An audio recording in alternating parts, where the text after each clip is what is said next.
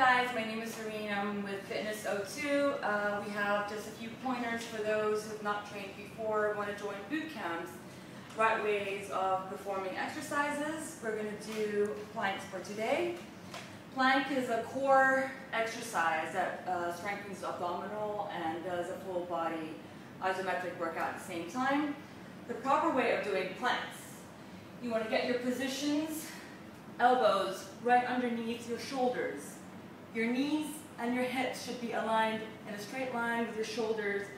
Avoid keeping your hips up and avoid dropping your hips down. So the right way of doing a plank is so, you can either do it with wide stance, having your legs set apart. To make it a bit more difficult, put both toes together and hold.